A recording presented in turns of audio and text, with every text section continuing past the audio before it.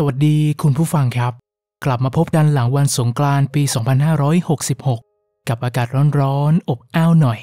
หลายคนไปเที่ยวพักผ่อน หลายคนกลับไปหาครอบครัว หลายคนก็นอนชิลๆ อยู่บ้านสบายใจใช่ไหมครับ ไม่ทันไรก็สี่เดือนจะผ่านไปแล้วรวดเร็วจริง ๆ ใช่ไหมครับ ในแต่ละปีชีวิตของเรามันผ่านมา และก็ผ่านไป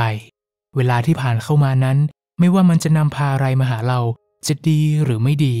หากเรามีแนวคิดในการดำเนินชีวิตที่ดี มันก็จะช่วยให้เรานั้นผ่านสิ่งต่างๆ ไปได้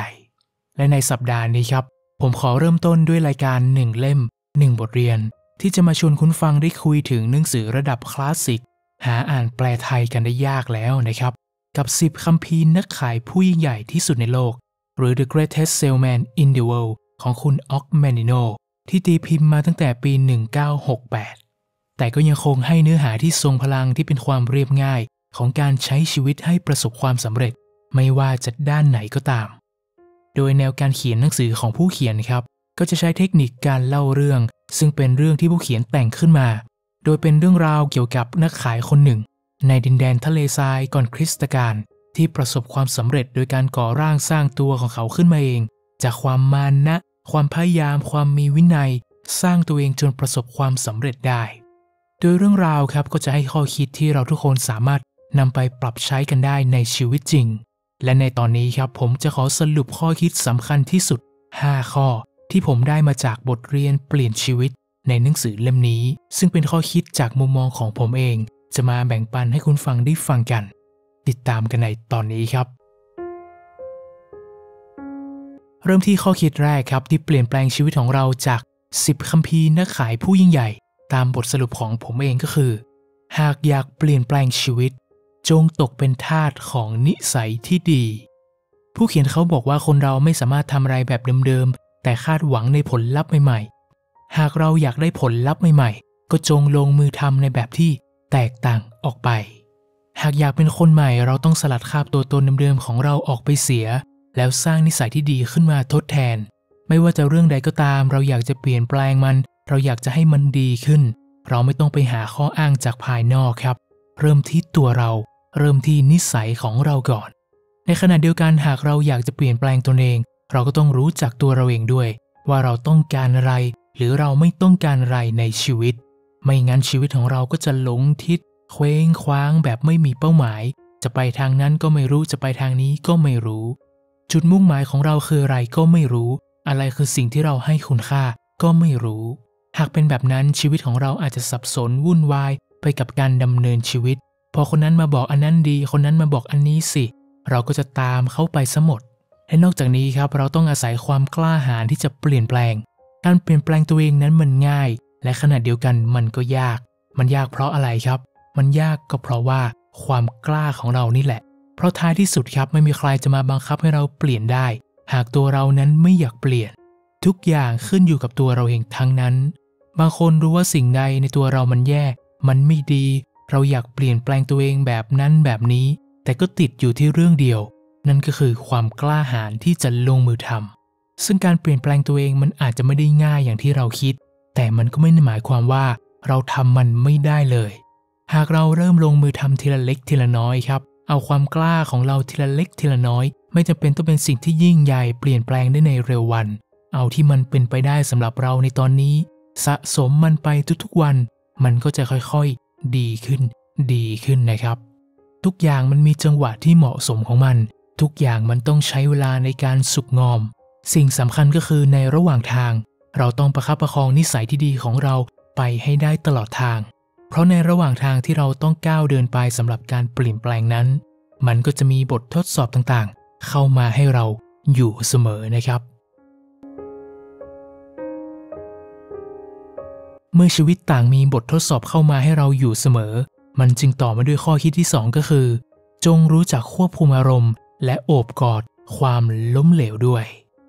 บทเรียนในหนังสือเล่มนี้บอกกับเราไปแล้วว่า จงตกเป็นทาสของนิสัยที่ดี แต่ในขณะเดียวกันครับก็อย่าได้ตกเป็นทาสของอารมณ์เป็นนันขาด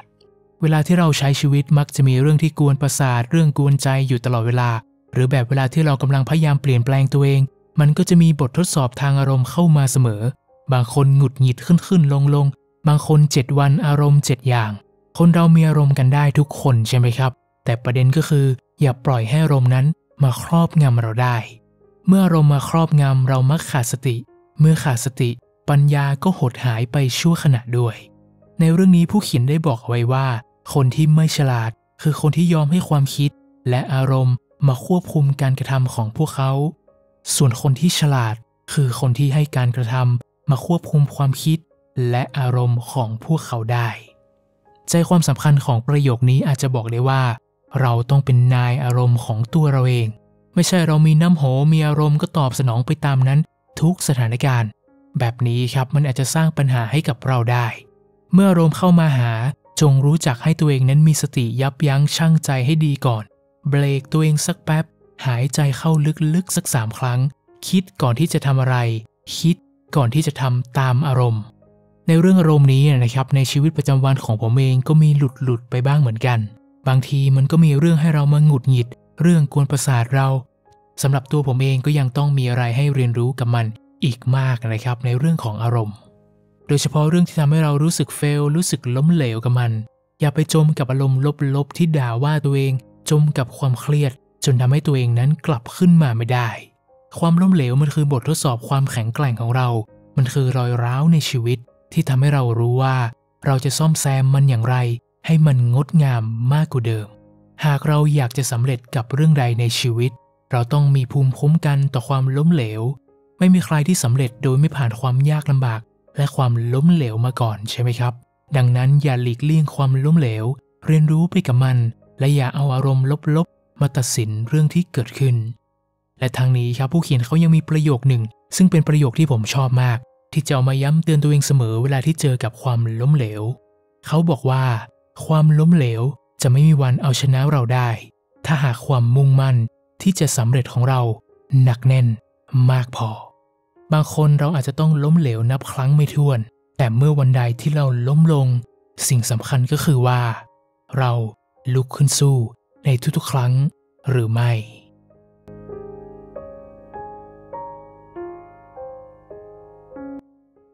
ต่อมาข้อคิดสำคัญข้อที่ 3 ครับ จงใช้ความรักเป็นตัวนำชีวิต ส่วนตัวแล้วผมชอบสิ่งนี้มากๆครับ และก็ได้สัมผัสกับประสบการณ์โดยตรงด้วยตัวเองหลายครั้ง จงใช้ความรักเป็นตัวนำชีวิต เมื่อก่อนผมก็ไม่ได้เป็นคนจะอินกับคำนี้เท่าไหร่ แต่เมื่อเวลาผ่านไปเราได้ผ่านอะไรมามากขึ้น เรียนรู้อะไรมามากขึ้น การใช้ความรักเป็นตัวนำชีวิตนี้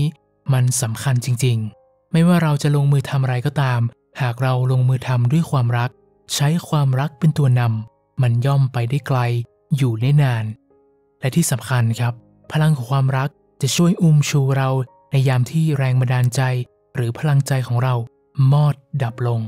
เมื่อเราทำสิ่งสิ่งใดด้วยความรักครับ จิตใจและทัศนคติของเรา ก็จะเปลี่ยนไปแทบจะเป็นคนละคนกันเลย ลองคิดดูครับว่า หากเราลงมือทำสิ่งใด เพราะคิดถึงแต่ผลตอบแทน คิดถึงแต่ผลประโยชน์ คิดแต่ความสำเร็จ ความมั่งคั่ง ท้ายที่สุดเราคงต้องมานั่งตั้งคำถามว่า นี่ฉันกำลังทำอะไรอยู่นี่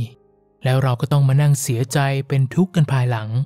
แต่หากเราใช้ความรักเป็นตัวนำชีวิตในการทำสิ่งต่างๆ การกระทำของเรา ความคิดของเรา อารมณ์ของเรา ก็จะเปลี่ยนไปในทางที่ดีขึ้น มันจะออกมาผ่านแววตาของเรา สีหน้าท่าทางน้ำเสียงของเรา การกระทำของเรา มันจะทำให้ใครที่เข้ามาเกี่ยวข้องกับเรานั้น รู้สึกถึงความสุขที่อยู่ในใจของเราได้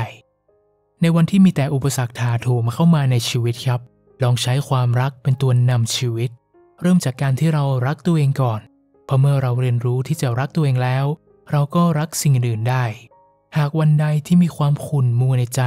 ไม่รู้จะทำอย่างไรดี ก็ลองสำรวจตัวเองครับว่า เราได้ดำเนินชีวิตด้วยความรักอยู่หรือไม่ ถัดมาข้อคิดที่ 4 ครับ จงรู้จักตัวเองและมองตัวเองในด้านมุมที่ดี การรู้จักตัวเองนั้นสำคัญมากๆ ในการดำเนินชีวิต ที่ว่าเราต้องการเป็นแบบไหน และแบบไหนที่เราไม่ต้องการ ซึ่งในหนังสือเล่มนี้เขาบอกว่า ไม่ว่าเราจะทำอะไร อย่าได้เรียนแบบใครอย่างไรค่า อย่าเรียนแบบคนอื่นจนสูญเสียความเป็นตัวของตัวเอง คนเราควรภูมิใจถึงความแตกต่างตามแบบฉบับของความเป็นตัวเราด้วย หากเราไม่มีความภาคภูมิใจในตัวเองเลย สิ่งต่างๆที่เราลงมือทำมักจะไม่ประสบความสำเร็จ เพราะในแต่ละวันเรามัวแต่มองรอยตำหนิในตัวเอง เอารอยตำหนินั้นมาทำให้ตัวเองนั้นเป็นทุกข์ จิตใจของเราก็ไม่เป็นสุข ซึ่งการทำแบบนี้มันก็ไม่ได้ช่วยลบรอยตำหนิเหล่านั้นได้ มันจะดีสักกว่าหากเรายอมรับในสิ่งที่เราเป็นในสิ่งที่เป็นตัวเราให้ได้ก่อน ไม่มีใครที่ได้เป็นตามที่ใจคิดไปทุกอย่าง โอบกอดตัวเราเอง แม้มันจะไม่ได้สมบูรณ์แบบ โอบกอดตัวเรา แม้มันจะมีรอยตำหนิที่เรามองมันได้อย่างชัดเจน อย่าทำให้รอยตำหนินั้นเป็นสิ่งที่ด้อยค่าในชีวิตของเรา คนเราจะมีคุณค่ามากแค่ไหนนั้น ไม่ต้องถามใครครับ ไม่ต้องให้ใครมาใช้คำพูดเพื่อวัดคุณค่าในตัวเรา มันไม่ได้ขึ้นอยู่กับคำวิจารณ์คำตำหนิ หรือข้อเปรียบเทียบของคนอื่น ใช้วิจารณญาณของเราครับ ใช้วิจารณญาณในการคิด เมื่อมีคำพูดของคนอื่นเข้ามากระทบเรา จงถามตัวเราเองว่า เรามองเห็นคุณค่าในตัวเองอย่างไร เราสามารถเลือกครับ เป็นคนที่ดีมีคุณค่าได้เสมอ เราเลือกเป็นคนที่ดีขึ้น ในแบบที่เป็นตัวเราได้ จงมีศรัทธาในตัวของเราเอง รู้จักตัวเองและมองตัวเองในด้านมุมที่ดีด้วยนะครับ และข้อคิดที่ 5 ที่ผมได้จากบทเรียนในหนังสือ 10คัมภีร์นักขายผู้ยิ่งใหญ่ก็คือ จงสร้างความสุขให้กับตัวเอง แม้ในภาวะวิกฤต ในเรื่องนี้ผู้เขียนเขาได้พูดถึง เวลาที่เราเจอปัญหาหนักในชีวิต จนเราไม่รู้ว่าจะทำอย่างไรต่อไปดี บางทีครับ หากเราจมกับมันหนักๆนานๆ มันอาจจะทำให้เรานั้นคิดอะไรไปไกลมากเกินกว่าเหตุได้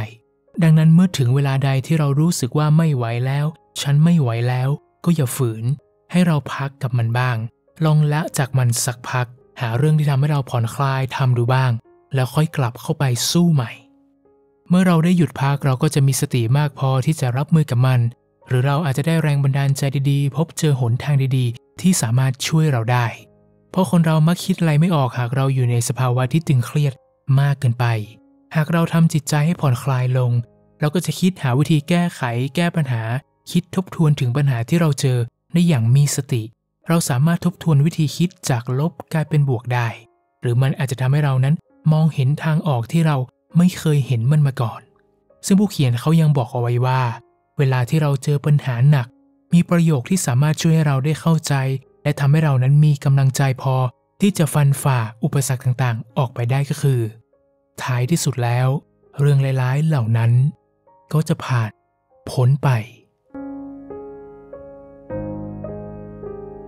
นี่ก็เป็น 5 ข้อคิดสำคัญที่ผมได้จากหนังสือ 10 คัมภีร์นักขายผู้ยิ่งใหญ่ที่สุดในโลก คุณฟังก็สามารถนำไปปรับใช้ย้ำเตือนตัวเองได้นะครับ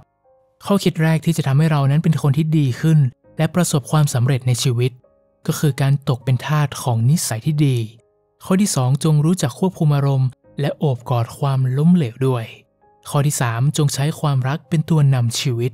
ข้อที่ 4 จงรู้จักตัวเองและมองตัวเองในด้านมุมที่ดี ข้อที่ 5 ครับ จงสร้างความสุขให้กับตัวเอง แม้ยามเจอวิกฤตในชีวิต ถ้าชอบตอนนี้ก็ขอฝากกดไลค์ กดแชร์เป็นกำลังใจให้กันด้วยนะครับ และพบกับ 1 เล่ม 1 บทเรียนได้ในครั้งหน้า สวัสดีครับ